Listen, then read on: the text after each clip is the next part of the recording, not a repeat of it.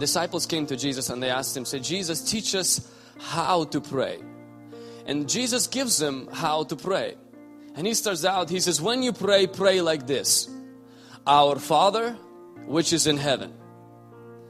And it's interesting because disciples are asking Jesus to teach them how to pray. And Jesus turns the focus from how to pray to who we are praying to.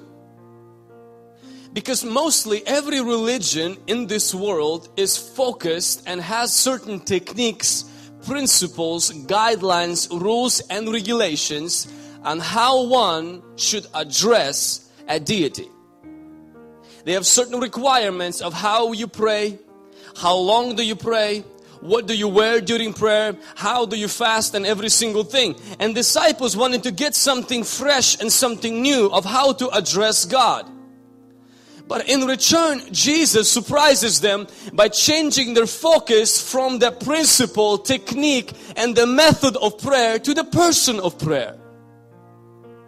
We have to understand that God doesn't want you to learn more about prayer, He wants you to learn more about Him.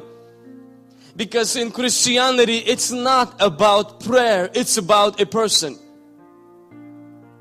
When we focus on prayer, and prayer becomes the reason for prayer, it becomes a discipline. It becomes something challenging. It becomes difficult. It becomes that sour lemon face. The word prayer makes you just kind of, your smile disappears because you know what that means. It's symbolic of running five miles. There's no pleasure in that. It's a discipline. It becomes a rigid, old, cold, lukewarm. It, it, it's a difficult task. But Jesus switches the prayer and he says prayer is not about a discipline. When a prayer is about a person, prayer is a delight. When a prayer is about prayer, it becomes a discipline. The biggest thing about text messages that teaches me about prayer, and I've discovered that personally when I was just me and my wife started to develop a romantic relationship. And my wife was separated from me by a distance of three and a half hours. She lived in Vancouver, Washington. I lived in Tri Cities where we both reside now. And when she lived there, every single day, I would send her text messages. This is the way I communicated with her. And one month, that month that we discovered each other, I had a bill and I looked at the bill and I had 9,000 text messages sent in one month. I was shocked. It's almost three times more than a teenage girl in middle school. Now, and when I looked at that bill, do you know why I sent 9,000 text messages in that month? Not because I discovered text messages. Not because I was a junior higher, finally discovered that I could text other people. That wasn't the case. And let me tell you another reason why I sent 9,000 text messages. It wasn't because I fell in love with texting. I was in love with Lana. That's why I enjoy texting. Prayer is like text messages. God does not want us to fall in love with prayer. God wants us to fall in love with Him and then prayer becomes enjoyable.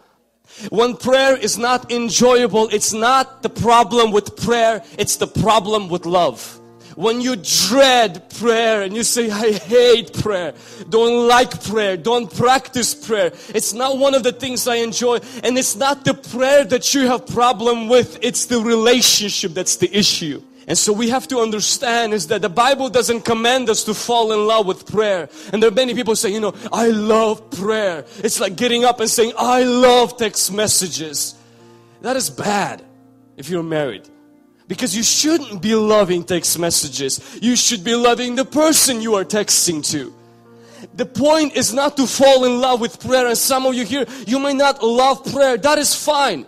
But prayer becomes very enjoyable when the person you are talking to in prayer you love. That's why when disciples ask Jesus, teach us how to text. And he says, it's not about how to text. You have to know who you're gonna text first. And once you know who you're gonna text, it will go easily. When you are in love with somebody, you don't have to force yourself to text. You have to hold yourself back not to text. Some of you in here who are right now in that season of maybe developing a relationship with somebody, you don't you, you didn't put as one of your New Year's resolutions to send five text messages every single day. Actually, your resolutions and one of the things you repented is God help me to send less than 50 a day. Because it's not hard to send a lot of text messages and to share a lot of love when you're in love. It doesn't take a discipline, it's a pure delight. And that's why Jesus says, Our Father which is in heaven. He redirects prayer from prayer to a person.